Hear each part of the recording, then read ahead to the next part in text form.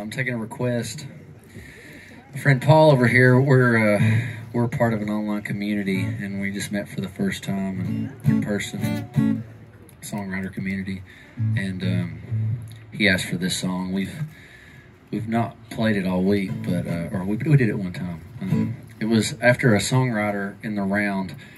It's uh, a round is where you, you're on stage with multiple musicians, multiple songwriters, and everybody takes turn writing songs. And one of the one of the songwriters there, she said, when she was growing up, she didn't know what a bank was because all the money that her parents made went under the mattress in their bedroom because they were selling pot. So. Um, I was like, man, I wish that was my parents.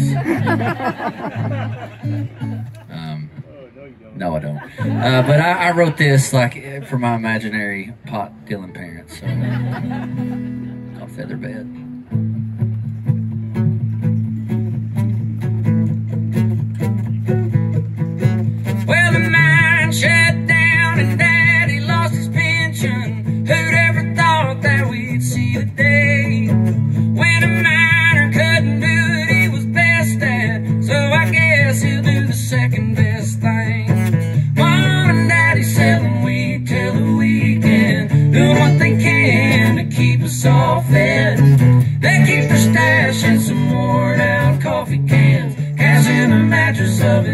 Feather Bed.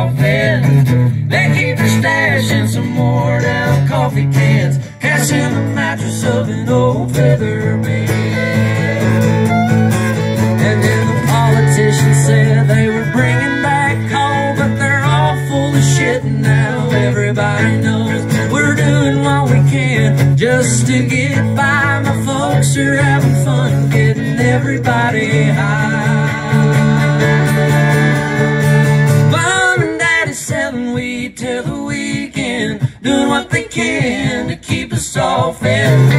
They keep us stashing some worn out coffee cans, cash in the mattress of an